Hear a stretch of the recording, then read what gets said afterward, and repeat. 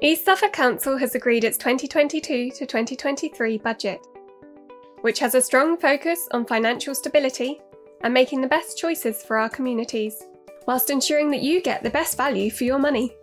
Our budget for 2022 to 2023 is 26.8 million, which is funded in a few different ways, including from the council tax you pay, which makes up almost 59% of our budget. The rest comes from business rates and government grants.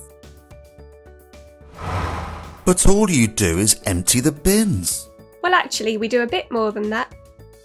We provide vital services that benefit people of all ages, supporting our local businesses, creating new jobs, protecting our environment and wildlife, tackling climate change, and so much more.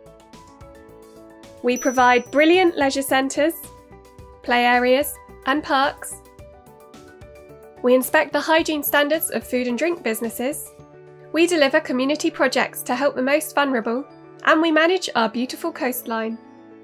It isn't just the bins.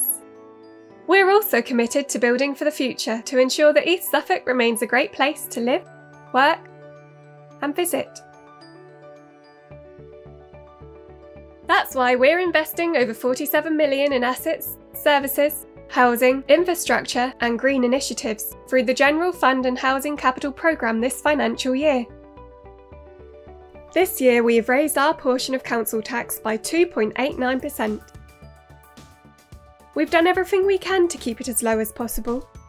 And in real terms, this means that a Band D property will be paying an additional £4.95 to East Suffolk Council for the whole year. That's just over 40p a month more than last year for all these services. This modest increase will help us raise just over £441,000 and means that we can continue to provide the vital services you need and deliver the highest possible quality of life in East Suffolk.